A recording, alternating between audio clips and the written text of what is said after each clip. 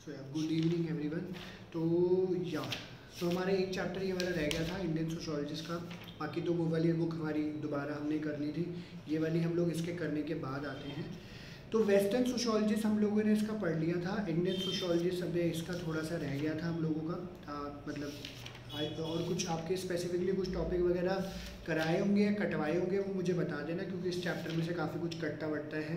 ठीक है तो आप मुझे बता दीजिएगा, वो मैं फिर नहीं कराऊँगा, ठीक है? तो प्लीज़ ध्यान रखना, ज़रूर से याद से मुझे बता देना, ठीक है जी? तो जैसे वेस्टर्न सोशोलॉजिस्ट ने अपना कंट्रीब्यूशन दिया था एम आई डरखाइन थे मैक्स वेबर थे, ठीक है, और कार्ल मार्क्स थे ऑगस्ट कॉम्टे थे, काफ़ी लोगों ने अपना कंट्रीब्यूशन जो है सोशोलॉजिस्ट में दिया ही था। तो सोशोलॉजी में तो इंडियन सोशोलॉजिस्ट ने भी कोई कमी नहीं छोड़ी, हम क्यों पीछे रहे? हम भी जो है अपनी सेवा आपके लिए करेंगे, आप लोगों के लिए, देश, दुनिया के लिए।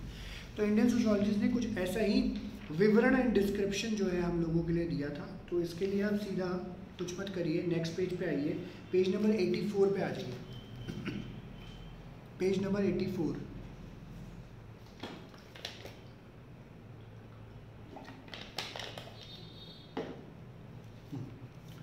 तो अब ये क्या कहते हैं कि जो पाइनियर्स थे हमारे, ठीक है इंडियन सोशोलॉजी के they not only had to find their own answers to the questions they also had to formulate new question for themselves तो अब ये देखो कि ना मेजर कंट्रीब्यूशन यूरोपियन सोशोलॉजिस्ट का रहा उन्होंने अलग अलग तरीके से क्वेश्चन दिए तो यहाँ पे इन लोगों के भी अपने क्वेश्चन थे उनके अपने आंसर्स थे इन्होंने बताने थे and it was only through the experience of doing sociology in an Indian context that the questions took shape. They were not readily, they were not available ready-made, ready-made. As is often the case in the beginning, Indians became sociologists and anthropologists mostly by accident.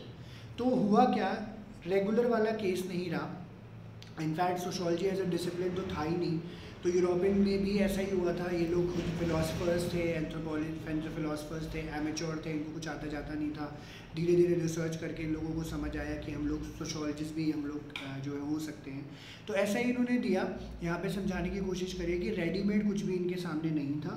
Sociologist और social anthropologist जो भी थे, ये actually में सारे by accident ही बने। तो इनकी जो रिसर्चेज आई तो इन्हें बोले सोशोलॉजिकल रेवलेशन है ये। तो इनको हम लोग कंसिडर कर सकते हैं कि सोशोलॉजिस्ट है। फॉर एग्ज़ाम्पल अब यहाँ से आप समझना।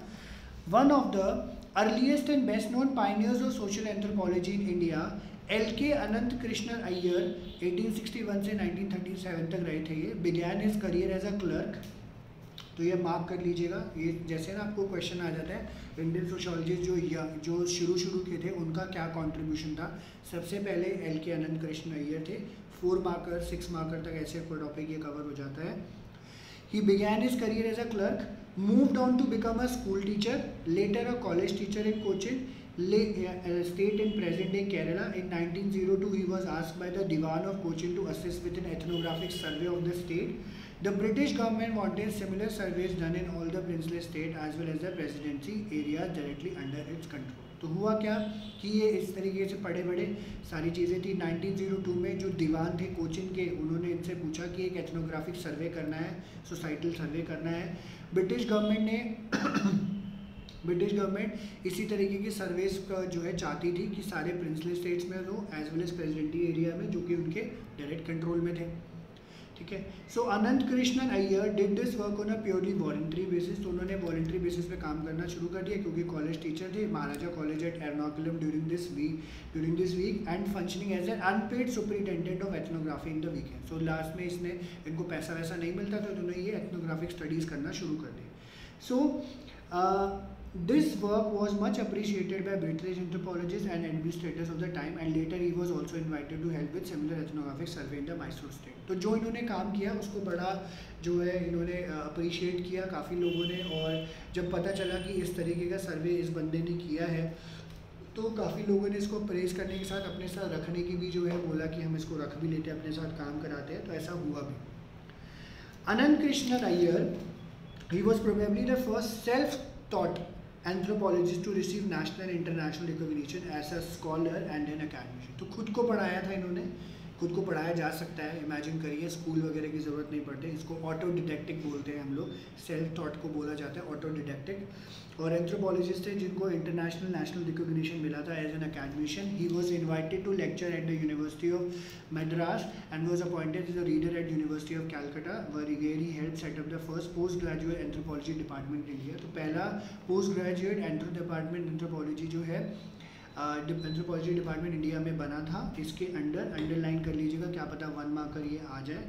He remained at university of Calcutta from 1970 to 1932 पंद्रह साल यहाँ पे रहे। दो he had no formal qualification in anthropology कोई इनकी क्वालिफिकेशन नहीं थी। He was elected the president of ethnology section of the Indian science congress तो इनको जो है इंडियन साइंस कांग्रेस का प्रेसिडेंट बना लिया गया। उनको ऑनररी डॉक्टरेट मिला गया। ऑनररी डॉक्टरेट बेसिकली क्या होता है, कई एक तो डॉक्टरेट आप करते हो पीएचडी की डिग्री के लिए। ऑनरी डॉक्टरेट एज अ आपकी सर्विसेज़ के कंट्रीब्यूशन के दौरान जो है उसको दिया कि आपने जो है सोसाइटी को बहुत ज़्यादा अच्छे से सर्व किया है, आपकी रिकोगनीशन है तो ऑनरी डॉक्टरेट दिया जाता है by German university during his lecture tour of European universities he was also conferred the title of Rao Bahadur and Diwan Bahadur by Cochin state तो ये इनकी पूरी जो है जर्नी रही है। इतना ही आंसर है कि जब भी जैसे क्वेश्चन ना एक दो तरीके से आ जाता है कि अनंत कृष्ण अय्यर का क्या कंट्रीब्यूशन रहा है, क्या किया उन्होंने, कैसे किया तो वो सब चीज़ें इस तरीके से इतना ही आपको लिखना होता है। ठीक है जी? तो ये था अनंत कृष्ण अय्यर इनकी कहानी थी छोटी सी, ये इन्होंने बताया। फिर इन्होंने बोला, जो दूसरे सोशोलॉजिस्ट हमारे सामने आए, वो थे लॉयर शरद चंद्र रॉय 1870 से 1942 तक रहे थे ये।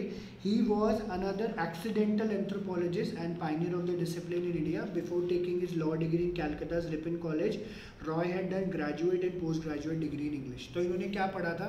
Graduation and post graduate English में कर ली थी। Soon after he had begun practising law he decided to go to Ranchi in 1898 to take up job as an English teacher at a Christian missionary school तो बोलते, ठीक है काम वाम करना ही है पढ़ाने लिखाने के लिए लोग आगे चले गए वहाँ पे रांची में। और इसकी वजह से इनकी लाइफ में बहुत ज़्यादा बदलाव आया। For he remained in Ranchi for next forty years and became the leading authority on culture and society of the tribal people of Chota Nagpur region present day Jharkhand तो इन लोगों को पढ़ने का मौका मिला। ट्राइबल सोसाइटीज़ थी। Chota Nagpur region था present day Jharkhand Roy Roy's interest in anthropological matters began when he gave up his school job and began practicing law at the Ranchi courts, eventually being appointed as official interpreter in the court. तो इन्होंने English की job छोड़ी official interpreter बन गए court में इसी दौरान जो है एंथ्रोपोलॉजी का भी काम कर रहे थे Roy became deeply interested in tribal society as a by product of professional need to interpret tribal customs and laws to the court तो इन्होंने क्या किया मीडिएशन का काम किया कस्टम्स एंड लॉज जो ट्राइबल सोसाइटीज़ के तो वो कैसे जो है हम सामने लेकर आए, कानून का इन तक पहुँचाया जाए, उनको समझाया जाए, उसका इंटरप्रिटेशन का काम इन्होंने किया। उन्होंने एक्सटेंसिवली ट्रैवल किया ट्रैवल कम्युनिटीज़ के बीच में इंटेंसिव फ़ील्ड वर्क किया। All of this was done on amateur basis तो नव सीखिया बोला जाता है एमेच्योर को। तो ये सिर्फ़ उसी करते थे, कोई इनका कोई ज़्यादा इसमें वो नहीं था कि interest all of this was done on amateur but Roy's diligence and keen eye detail resulted in valuable monographs and research articles During his entire career, Roy published more than 100 articles in leading Indian and British academic journals in addition to his famous monographs on the Orayan, the Mundas and the Khariyas. ये झारखंड कम झारखंड में रहने वाले tribes हैं ओरायंस है मुंडाज है भीम सांथल्स खरियाज ये सारे लोग वहाँ पे रहते हैं तो उनके बारे में पढ़ा इन्होंने लिखा भी and Roy soon became very well known among amongst anthropologists in India and Britain and was recognized as authority on Chota Nagpur. He founded the journal Man in India in 1922. The underline कर लीजिएगा journal Man in India. The earlier journal in kind that is still published. आज तक इसको publish किया जाता है Man in India. तब तक जो है इन्होंने यहाँ पे बताया था ठीक है जी तो ये दो बड़े कंट्रीब्यूटर्स थे शुरुआती बाकी भी जो है इसके बाद लोग आए थे ठीक है उसके बारे में भी आगे पढ़ने को मिलेगा हमें पहले ये पढ़ लेते हैं तो कहते हैं both Anant Krishna Iyer and Sharad Chandra Roy were true pioneers in the early pioneers in early 90s they began practicing a discipline that did not yet exist in India and which had no institutions to promote. Both Iyer and Roy were born, lived and died in the India that was ruled by British. The four Indian sociology you are going to be introduced in this chapter uh, were born one generation later than Iyer and Roy. They came of age in the colonial era, but their careers continued into the era of independence and they had to shape the first formal institution the establish Indian sociology तो उन्होंने properly Indian society जो है establish कराई sociological society G S Ghurye D P Mukherjee were born in eighteen nineties while A.R. Desai and M.N. Srinivas were among 15 years younger, having born in the second decade of 20th century तो इन लोगों के बारे में हमें G S Ghurye D P Mukherjee A R Desai M N Srinivas इन लोगों के बारे में हमें आगे पढ़ने को मिलेगा ठीक है जी क्या है कैसे है वो सब चीज़ें एक second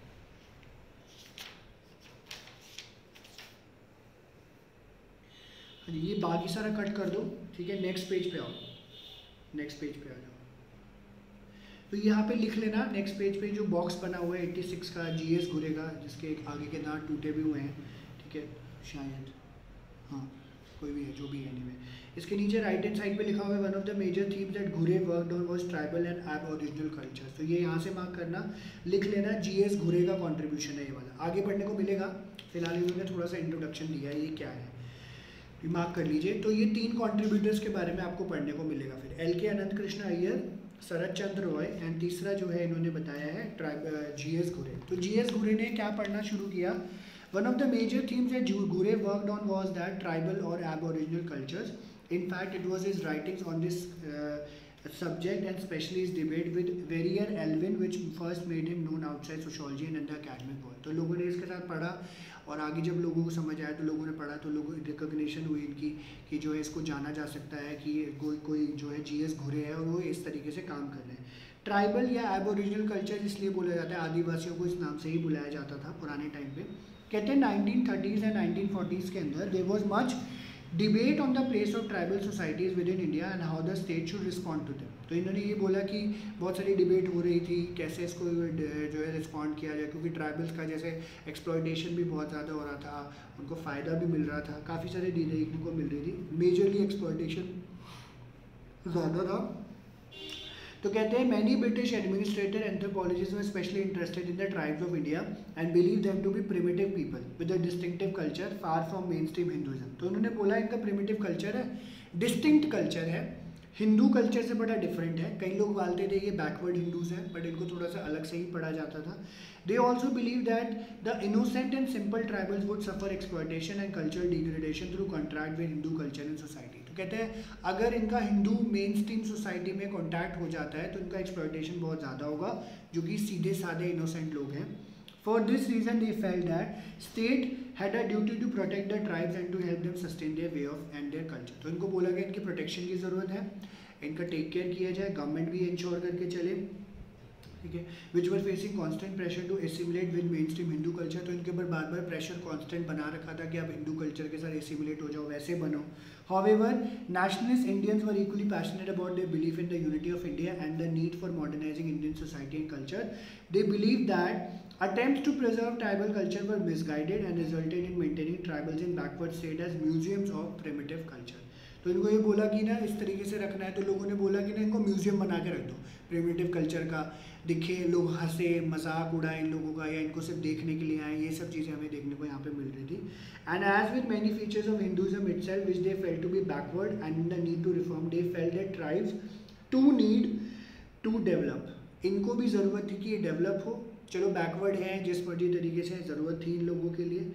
Ghurye became the best known exponent of the nationalist view and insistent on characterising the tribe of India as backward Hindu तो घुरे ने भी ये बात बोली कि ये बैकवर्ड हिंदूज हैं और इसी तरीके से इनका ट्रीट किया जाए। ठीक है? मतलब ऑब्वियसली टेक केयर करने की ज़रूरत थी। Rather than distinct culture groups, he cited detailed evidence from a wide variety of tribal cultures to show that they had been involved in constant interactions with Hinduism over a long period. They were thus simply further behind in the same process of assimilation that all Indian communities had gone through. तो ये भी बोला गया evidences दिए गए कि ये constant interaction के साथ हिंदुज़म कम्युनिटी के साथ ये लोग रहे हैं और कहते हैं they were simply further behind in the same process of assimilation that all Indian communities had gone through The particular argument, namely the Indian tribals were hardly ever isolated primitive communities of that type that was written about in the classical anthropological text, was not really disputed. साथ के साथ इन्होंने ये भी बोला कि Indian tribal जो है कई बार हाईली आइसोलेटेड रहे हैं ठीक है जो कि लिखा हुआ था बट एक्चुअली में इतना ज़्यादा कहते सही भी नहीं था डिस्प्यूटेड भी नहीं था कुछ भी नहीं था अलग अलग तरीके से देखा जा रहा था प्रोटेक्शनिस्ट जो थे ठीक है? वो क्या मानते थे? That assimilation would result in severe exploitation and culture extension of the tribal tribal तो ये मान, ये क्या बोलते थे कि ना, इसको अगर मेन स्ट्रीम सोसाइटी में लेकर आ जाओगे हिंदुज़म जैसा दिखाने की कोशिश करोगे तो इनका एक्सप्लॉटेशन बढ़ जाएगा। Ghurye and the nationalist on the other hand argue that these ill effects were not specific to tribal but were common to all backward and down road in section of Indian society these were the inevitable difficulties on the road to development और ये सबसे बड़ा challenge बना because इसमें से जो है, काफ़ी चीज़ें इन लोगों को इम्प्लीमेंट करनी थी और इसकी वजह से काफ़ी चेंजेस भी इन लोगों को देखने थे बट हालाँकि इतना ज़्यादा जो है सक्सेसफुल नहीं रहा, ठीक है? तो दिक्कतें हमें यहाँ पे देखने को मिली, ठीक है? ये चीज़ इन्होंने यहाँ पे बताई। ठीक है? तो ये था घूरे का थोड़ा सा कंट्रीब्यूशन और एब ओरिजिनल कल्चर्स ये एज इट इज़ है, मैंने लास्ट में थोड़ा सा पैराग्राफ ज़्यादा पढ़ दिया, उतना नहीं पढ़, उतना नहीं करना है आपको। तो बाकी जहाँ से हमने पढ़ा है और जो एक लंबा पैराग्राफ थर्टी सेवन पेज पे है वो तो सारा आएगा ही आएगा आंसर में कवर होता ही है। ठीक है? बाकी में मैं आपको बता दूँगा। ये उन्होंने यहाँ पे बताया। ठीक है? अब नेक्स्ट पेज पे आ जाइए। छोटे से दो टॉपिक और हैं। ठीक है? देखते हैं ख़त्म हो जाएँगे। अब जीएस घूरे का सबसे मेजर जो कंट्रीब्यूशन रहा है, वो तो कम है, क्योंकि यहाँ से क्वेश्चन आपके सबसे ज़्यादा कवर होते हैं। दो क्वेश्चन हैं यहाँ पे अलग अलग four four six six marks के क्वेश्चन है, लिख लीजिएगा। घूरे ने कास्ट एंड रेस के बारे में बताया फोर सिक्स मार्क्स घूरे ने जो है कास्ट के फीचर्स के बारे में भी बताया है फोर एंड सिक्स मार्क्स ठीक है? ये सेम जो है टॉपिक कास्ट के फीचर्स आपको ट्वेल्थ में भी पढ़ने को मिलते हैं. सेम एज इट इज़ जो यहाँ पे लिखा हुआ ट्वेल्थ में बहुत इंपॉर्टेंट टॉपिक है ये वाला. तो गुरे ने कास्ट एंड रेस के बारे में क्या बोला? जीएस गुरे का अकेडमिक रेपुटेशन जो है आ, बहुत ज़्यादा बढ़ गया था ऑन द बेसिस ऑफ़ इस doctorate dissertation at Cambridge which was later publish as caste and race in India तो ये डॉक्टरेट की डिग्री इन लोगों ने ली ठीक है? और ये तो उनका कास्ट एंड रेस पे इन्होंने लिखा था तो उसका इसके रिकोगशन और ज़्यादा बढ़ा। Ghurye's work attracted attention because it address the major concern of Indian anthropology at that time in this book Ghurye provide the detail critique of then dominant theories about the relationship between race and caste तो ये किसने क्या बोला? Race और cast में क्या फ़र्क है? हर्बर्ट रिस्ले एक बंदा था British colonial official who was deeply interested in anthropological matter was the main proponent of the dominant view This view held that human beings can be divided into distinct and separate races on the basis of their physical characteristics. तो ये mark करना, Herbert Risley ने क्या बोला? हम इंसानों को distinct and differently जो है, इसको सेपरेट किया जा सकता है हमारे फ़िज़िकल कैरेक्टरिस्टिक्स के ऊपर। रेस जैसे भी बोला हुआ है, हमारा circumference of the skull the length of the nose the volume size of the cranium और the part of the skull where the brain is located ठीक है? इस तरीके से, इस तरीके जो पूरा मतलब मेरे चेहरा ले लो, अपना चेहरा ले लो, इस तरीके से। ठीक है? Risley and others believe that India जो है यूनिक लेबोरेटरी है for studying the evolution of racial type because caste strictly prohibits intermarriage among different groups and has done for so centuries so many century कहते यहाँ पे क्या है? बड़ा different है। डिफरेंट क्या है? कास्ट में ही शादी होती है। जब कास्ट में शादी होती है तो कई चीज़ें, कई कैरेक्टरिस्टिक्स बड़े कॉमन चल रहे होते हैं तो कह रहे हैं इंडिया को इसलिए पढ़ना बड़ा ज़्यादा ज़रूरी है। Risley's main argument was that caste must have originated in race because different caste groups seem to belong to distinct racial types. तो कहते हैं कास्ट का ओरिजिन कहाँ से हुआ होगा? रेस से हुआ होगा। तो यही इन्होंने बोला, कहते in general the higher caste approximate Indo Aryan racial trace तो हायर कास्ट थी उसमें इंडो आर्यन कैटेगरीज थी, ठीक है, गोरे, चिट्टे, लंबे, है ना, अच्छे बाल, शक, जो है, चेहरे स्पिल्ट स्टाउट आँखें बड़ी अच्छी होती थी, जैसे ब्लूइश ग्रीनिश आँखें हो जाती थी, इस तरीके से लोग होते थे। मोंगलाइट या other racial groups on the basis of difference between groups in terms of average measurement in the length of the nose size cranium Risley and other suggested that lower caste for और original aboriginal inhabitants of India lower caste वालों को बोला, ये एब original inhabitants हैं। ठीक है? यानी कौन से लोग? जो ट्राइबल्स हैं, एक तरीके के। They had been subjugated by an Aryan people who had come from elsewhere and settled in India. तो आर्यन बेसिकली बोला जाता था, बाहर से आए हैं इंडिया में सेटल हो गए एक्सप्लॉटेशन वगैरह काफ़ी करी, वरना हमारे इंडिया का ऐसा कोई फीचर नहीं होता था कि काफ़ी गोरे चिट्टे लोग आपको देखने को मिल जाते थे, क्योंकि थोड़ा सा नीचे की तरफ़ हम लोग आ रहे होते हैं। So Ghurye did not disagree with the basic argument put forward by Risley but believe do to be partially correct he pointed out the problem with using averages alone with considering the variation in the distribution a particular measurement for a given community Gure believed that Risley thesis of upper caste being Aryan and lower caste being non-Aryan were broadly true only for northern India. कहते हैं, ये सिर्फ़ northern India के लिए ठीक है। Risley बोल रहे हैं कि जो आधा जो है आर्यन है, आधे जो है नॉन आर्यन है, ये नॉर्दर्न इंडिया में ठीक है। In other parts of India the intergroup differences in the anthropometric measurements were not very large और systematic This suggested that in most of India's accepted the Indo-Gangetic plain, Gangetic plain, different racial groups had been mixing with each other for a very long time. तो central India से जब नीचे की तरफ़ बढ़ते हो तो कहते हैं काफ़ी सारे इंटरमिक्सिंग वहाँ पे चल रही है। This racial purity had been preserve due to prohibition और intermarriage only in Hindustan proper ठीक है तो नॉर्दर्न इंडिया में हमें काफ़ी ज़्यादा देखने को मिला है जहाँ पे इंटर मैरिज इन्होंने नहीं करी है। एंडोगिमी प्रैक्टिस करी है within caste marriage in rest of the country the practice of endogamy may have been introduce into groups that were already racially varied और कहते हैं, आज का है, आज की रेशियल थ्योरी पे कोई मानता नहीं है. कॉन्फ्लिक्टिंग ओपिनियंस ऑब्वियसली देखने को मिले हैं और घुरे ने जो है फिर बाकी फर्दर राइटिंग्स भी हमारे सामने लिखे तो ये इसने कास्ट एंड रेस के ऊपर बोला। जो है हमारे, जो है फीचर्स की फ़िज़िकल फीचर्स के बेसिस पे बताया, या तो लोग आर्यन है, ये लोग नॉन आर्यन है बट मेजरली उन्होंने बोला नॉन जो है, वो कैटेगरी जो है नॉर्दर्न इंडिया में आपकी ज़्यादा देखने को मिलती है। ठीक है, ये चीज़ उन्होंने यहाँ पे बताई। ओके एंड जो है इन्होंने जी एस गुरे का बड़ा मेजर कॉन्ट्रीब्यूशन क्योंकि ट्वेल्थ में एज इट इज़ को मिलता है और ये बड़ा इंपॉर्टेंट क्वेश्चन है फोर इन सिक्स मार्क्स का आपके आई डेफिनेटली आता ही आ जाता है कब ये जो क्वेश्चन है। तो गुरे ने जो है कास्ट के फीचर्स के बारे में ध्यान दिया है, जो है एक्सप्लेनेशन दी प्लीज़ ध्यान से सुनना इसको, कहीं नहीं समझ आए तो पूछना। पहला फीचर कास्ट का। कास्ट का फीचर क्या होगा? या इसके आगे लिख लीजिए कास्ट के रूल्स क्या होंगे? कास्ट के फीचर्स या कास्ट के रूल्स लिख लीजिए। ठीक है, फिर बच्चे पूछ रहे होते हैं कि नोट्स नहीं मिले, ये नहीं मिले। यहाँ पे भी अगर मार्क हो जाता है तो अल्टीमेटली यहीं से कॉपी पेस्ट किया जाता है वो। ठीक है, ये भी याद कर लोगे अच्छे से तो बड़ी क्लैरिटी हो जाएगी। तो कास्ट के पीछे इसने बोला कि सबसे पहली बात, कास्ट जो है एक ऐसा इंस्टीट्यूशन है जो कि सेगमेंटल डिवीज़न के ऊपर बेस्ड है। इसका मतलब ये है society is divided into number of close mutually exclusive segments और compartments Each caste is one such compartment. It is closed because it is decided by birth. The children born to parents of a particular caste will always belong to that caste. इसको बोला जाता है ascriptive caste identities. लिख लीजिए ascriptive cast identities जिसमें आप पैदा हो जाते हो उसको चेंज नहीं किया जा सकता बाय बर्थ एंड इनफैक्ट कई मामले में जिसे कास्ट से आपको निकाल तो देते हैं बट ये एज इट इज़ रहता है यूनिवर्सल फिनोमिना सेगमेंटल है तो कहते हैं ब्राह्मण सेगमेंट है, वैश्याज हैं, शूद्राज हैं, क्षत्रियाज हैं, पंचमाज हैं, ये सब सेगमेंटल कैटेगराइजेशन है. सेकंड उन्होंने बोला हरारकिल डिवीज़न है. हरारकी मतलब अपर मिडिल लोअर इस तरीके से काम कर रहा होता है. हर एक जो है कास्ट स्ट्रिक्टली अनइक्वल है to every other caste every caste is higher और लोअर जैसे इनमें बोल बोलते थे ब्राह्मण, क्षत्रिय, वैश्य हायर कास्ट हैं. और Shudras and Panchamas lower caste हैं. ठीक है नॉट इन है दो कास्ट इक्वल नहीं होती है, दूसरी चीज़। थर्ड इन्होंने बोला था institution of caste necessary involve restriction और सोशल इंट्रैक्शन तो क्या कहते थे? लोअर कास्ट वाले अपना जो है खाना, पीना फ़ूड शेयरिंग या ऐसे फेस्टिवल वगैरह में जो है इन्विटेशन वगैरह, ये सब चीज़ें जो है अपर कास्ट वालों को नहीं दे सकते।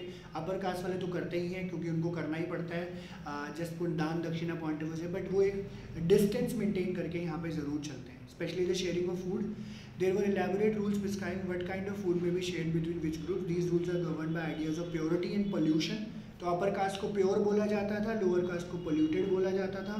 Same also applies to social interaction most dramatically in the institution of untouchability where even the touch of people particularly caste is thought to be polluted तो कहते हैं, कहीं ऐसी कास्ट होती थी, अछूत बोलते थे. उनकी छाया पड़ गई, परछाई, है ना शेडो हाथ लगा दिया सेम पानी पी लिया सेम सोर्स से मंदिर में चले गए. तो रिचुअली इम्प्योर माना जाता था. उसके प्योरिफिकेशन रिचुअल्स करे जाते थे बड़ी बेकार सी प्रैक्टिस है। आज भी कई जगह प्रेवलेंट है हमारे इंडिया में। ठीक है? फिर फोर्थ इन्होंने बोला following from the principles of hierarchy and restricted social interaction caste also involve differential rights and duties for different caste तो हर एक कास्ट के अपने अपने ड्यूटीज़ हैं। ब्राह्मण ब्राह्मण वाले ही काम करेगा, वैश्य वैश्य वाला, क्षत्रिय वॉरियर है तो राजा महाराजा रूलर वूलर का ही काम करेगा, लड़ाई झगड़ा। पंचमाज एंड शूद्राज बड़े मीगर मीगर से माइनर माइनर से छोटे मोटे काम जो है और जो है, बेकार काम जो होते थे तो जो और कोई नहीं करता, वो सारे लोग ये लोग करा करते थे तो ये सब बताया जाता था। गवर्न था, ऐसे ही चला आ रहा था, आजकल तो कोई नहीं देखता ये सब ये सब खत्म हो चुका है। Caste restrict the choice of occupation like caste is self decided by birth and is hereditary at level of society caste function as rigid form the division of labour with specific occupation भी locket to specific caste जैसे ऊपर ही इन्होंने बात बोला है तो इनके rights and duties के साथ साथ वही बिज़नेस बिज़नेस ऑलरेडी डिफाइंड है काम वाम सारा डिफाइंड ऑलरेडी रहता है, जो जो बंदा है, वही वही काम करेगा।